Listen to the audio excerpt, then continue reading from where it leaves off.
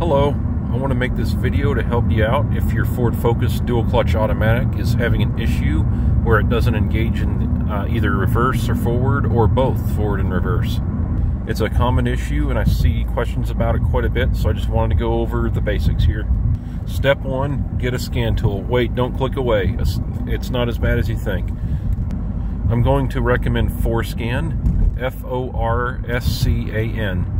I haven't used it, but I know other techs who have, and it's a powerful free uh, scan tool software that you can download to your laptop and bring out to your car.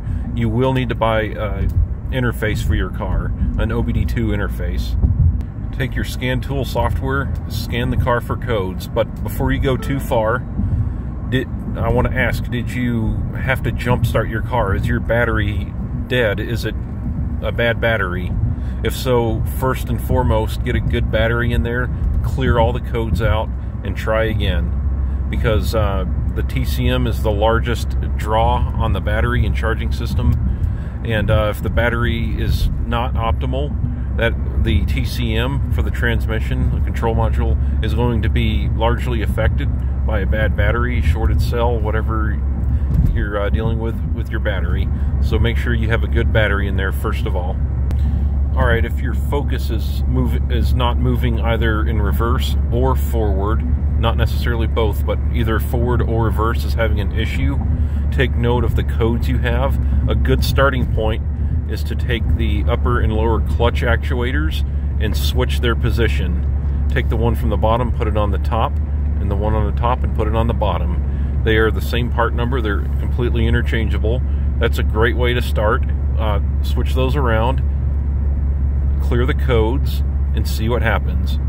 If the same codes come back, then you know it's not the clutch actuators that's the problem. It's something else. I just wanted to mention that first because that's a great, easy way to start, and the clutch actuators are easy to take off. You can refer to my video for clutch actuator replacement. You can find it on my videos list, or I can link these videos below if that'll help. That replacement video will show you how to access and remove the clutch actuators. Okay, so let's say you're having a problem getting in reverse and you swap the actuator locations and now you're having a problem going forward but reverse works correctly. Go ahead and go by the dealership and go to the parts department and get two actuators uh, ordered for you. They might have them in stock and replace them with Ford OEM actuators. Uh, yeah, easy enough there. Now, if you swap the actuators and the symptoms and codes did not change, you're going to have to go further here. The next thing I'm going to want you to do there, if that didn't lead you anywhere, is to determine what type of codes you have. There are two types of codes for the transmission. The first one is electrical codes, and the second would be mechanical codes.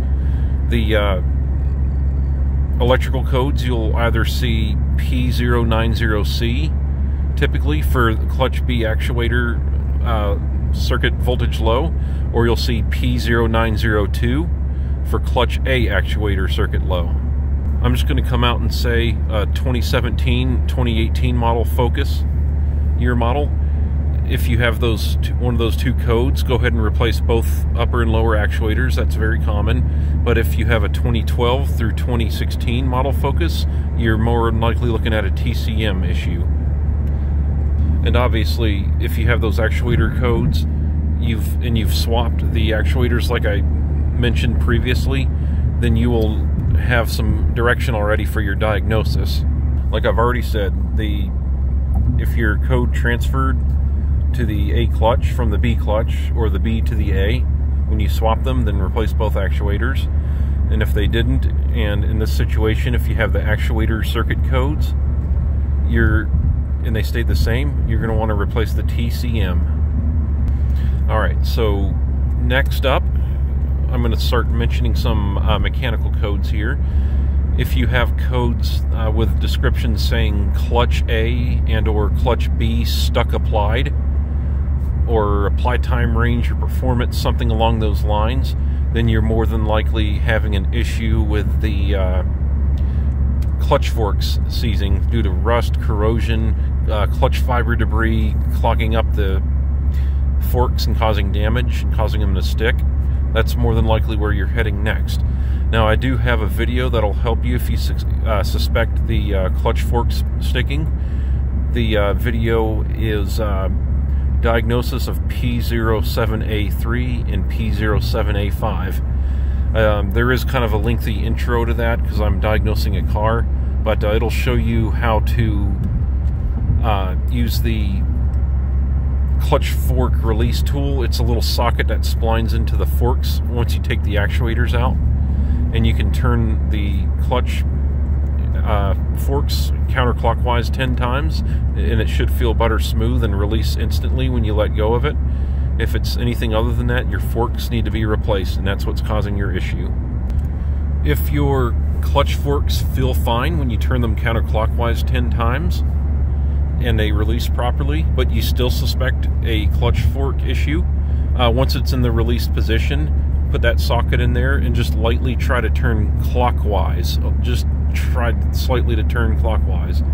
Um, if it goes past its stops, that means the uh, clutch fork is coming apart. That's something I've seen before. You can have uh, lack of engagement from the forks, even if they turn counterclockwise smoothly.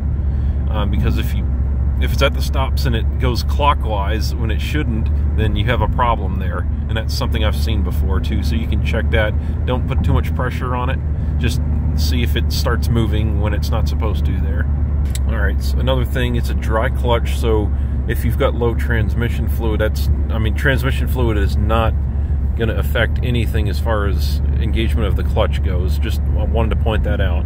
I've seen people ask about that no, the fluid level in the transmission is not going to affect the operation of the transmission. It's just the fluid is there to uh, cool and lubricate the bearings and synchronizers and all that inside the transmission. Alright, so anyway, if your clutch forks are binding, if they're not butter smooth when you turn them or they don't release properly, I do have a video on how to remove the transmission, replace the clutch and the forks. Um, so I've got you covered there too. I do have a video unboxing the Luck Rep Set, which is a kit that comes with the clutch and the forks and the slave cylinder and all the hardware that you'll need. And uh, if you're curious about that, believe it's like six or seven hundred dollars. It comes with everything, and uh, that video shows unboxing, and it seems like a good product, a good deal there. So I've got that video too. And uh, going back to electrical issues, if you don't want to pay for a TCM just yet, or you're waiting on it at Ford uh, for the TCM to come in, you can attempt cleaning the grounds. I've heard people have good luck with that. If you wait till the end of the video here, I'm almost home. I'll pop the hood on my Focus here and show you the grounds that I'm talking about. That's worth a shot, definitely, um, before you go replacing the TCM. But yeah, nine times out of ten or more, it's either an issue with the clutch and the forks or the TCM or the actuators. Now, on the very on the rare uh, situation that that's not an issue with those, you may have an issue with the uh, if your transmission doesn't move forward or reverse. You could have an issue with the shift drum stops on the case inside the transmission. Now, if you have Forscan, go ahead and if you suspect that, go ahead and do a clutch adaptive learn um, and uh, see if it go through the adaptive learn for the clutch and see if it gets caught on a step called uh, gear command for neutral something along those lines if it gets caught there and just times out and doesn't do anything then that uh, you can kind of confirm the issue with the shift drum stops there um, in that in that case, you'll need a new transmission case. Um, I've seen that several times, but it's nowhere near as common as the clutch and TCM fail failures. But I wanted to point that out too. And if you have a broken shift drum stop in a transmission, that once again will cause no engagement at all, and you won't be able to do the clutch adaptive learn. So now you can also have no engagement forward or reverse if you have two seizing clutch forks, which is very possible. It can definitely happen. But uh, yeah, just a minute here. I'll go ahead and show you the grounds I'm talking about for the TCM. All right, back home. So under the hood of your Focus here, well, this is mine. Um, so the first ground I'd like you to clean, if you want to try the ground cleaning procedure here, is this ground right here go ahead and before you take that off, to avoid any uh, arcing there, take your uh, battery uh, terminal here, take it loose and put it aside. And then take this, I believe it's a 13 millimeter, pull it off, move the cable aside, get some sandpaper, uh, remove the paint off of where this ground touches, clean the threads of the bolt, and run it back together. And before you put the battery cable back on, pull the air box out.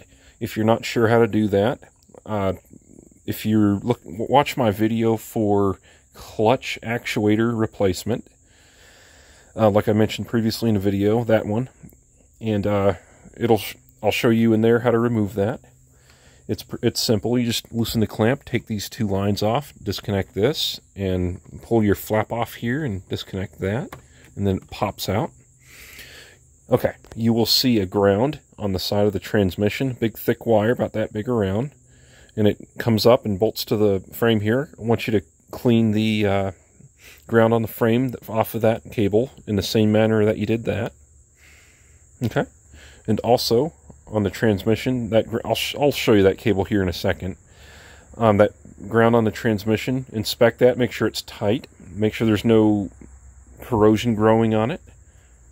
Um, here, I'll get underneath the car and show you the ground. Um, I don't... Alright. Okay, there's the clutch actuator. If you look above the actuator, that's where the cable is, right there. You can kind of make it out on the side of the transmission. It's held on with a nut against a stud up there to the left a little bit above the actuator. All right, back up here. And like I said, that I have heard that the ground cleaning has occasionally fixed TCM issues or electrical issues there. That is not going to do anything for you if you have a mechanical code or a binding clutch lever, clutch fork. So, I mean, you can still do that for that issues, and that might help prevent future issues, but um, you're if you've got a seizing fork, you've got a mechanical issue that won't be fixed by that. But um, yeah, I just wanted to make this guide here, and I hope it helps somebody out. And uh, thank you for watching. Please subscribe for plenty of more videos like this. And uh, have, a, have yourself a fantastic day. Let me know in the comments down below if you have any further questions. I'm more than happy to help, and I usually reply really quickly. Have a great day. Good luck with your focus. And uh, thanks for watching.